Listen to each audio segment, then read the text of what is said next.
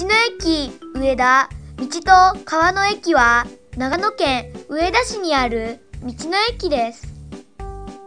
車で5分のところにコンビニとスーパーがあります。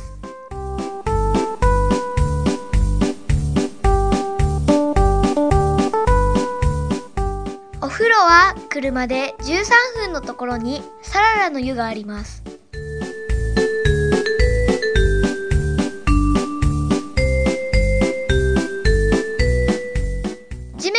フラットで寝心地は良さそうです。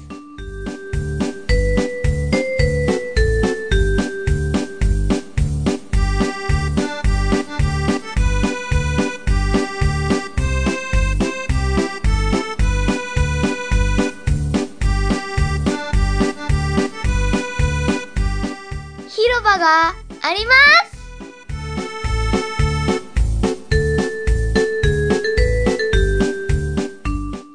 のあるテーブルで野宿も OK です。トイレは綺麗でウォシュレット付きです。独立した水道があります。高標高高標高。フリー Wi-Fi があります。